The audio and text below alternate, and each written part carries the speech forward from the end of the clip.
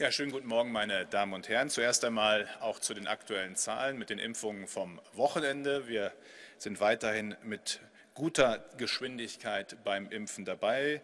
Es sind äh, jetzt über 35 Millionen Impfdosen in Deutschland verimpft worden, davon 27,2 Millionen Erstimpfungen. Das sind 32,8 Prozent der Bevölkerung, die mindestens einmal geimpft worden sind.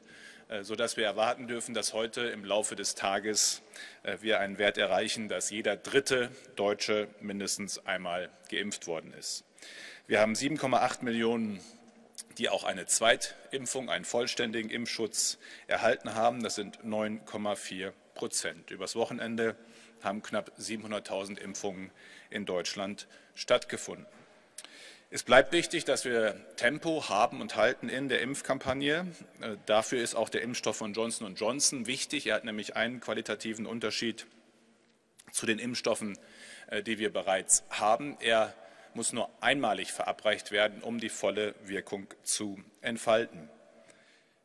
Nun ist es so, dass wir eine neue Empfehlung der Ständigen Impfkommission haben, auch für diesen Impfstoff, ähnlich wie bei AstraZeneca, weil es sehr selten aber dann doch eben ernsthaft Nebenwirkungen gibt, nämlich auch hier die sogenannten Hirnvenenthrombosen. In Deutschland bis jetzt so gut wie noch gar nicht äh, auch berichtbar, weil wir ja erst begonnen haben, gerade mit der Impfkampagne mit Johnson Johnson in Deutschland. Aber eben die Berichte aus den USA, aus anderen Ländern äh, werden natürlich auch ausgewertet und führen zu der entsprechenden Empfehlung.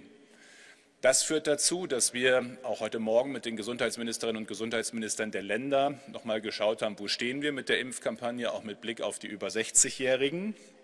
Es ist so, äh, dass wir bei den über 60-Jährigen in Deutschland schon deutlich mehr als 60 Prozent mindestens einmal geimpft haben. Einige Bundesländer schon über 70 Prozent. Wenn wir annehmen, dass es eine Impfbereitschaft gibt in dieser Altersgruppe von 80 bis 90 Prozent, dann sind etwa noch fünf bis sechs Millionen Menschen über 60 in Deutschland, die gerne eine Impfung für sich, um sich zu schützen, um ihre Lieben zu schützen, haben möchten, die noch keine haben. Ich gehe davon aus, dass wir bis Ende Mai alle über 60-Jährigen in Deutschland, Ende Mai, Anfang Juni, äh, die geimpft werden wollen, auch werden haben impfen können. Nun ist es aber so, dass die größten Mengen und Lieferungen von Johnson Johnson wir für Juni, Juli erwarten, äh, nämlich äh, über 10 Millionen Dosen.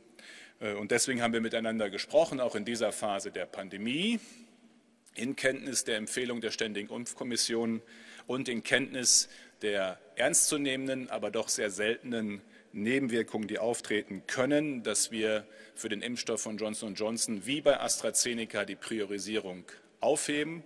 Äh, das macht die Corona-Impfverordnung auch möglich im Sinne einer zügigen Verimpfung äh, dieses Impfstoffes. Die Priorisierung also aufheben und damit allen die Möglichkeit geben, mit diesem Impfstoff geimpft zu werden, nach ärztlicher Aufklärung und individueller Entscheidung. Also genauso wie wir es bei AstraZeneca machen, werden wir es auch bei Johnson Johnson machen um dann auch pragmatisch in dieser Impfkampagne weiter mit Geschwindigkeit arbeiten zu können.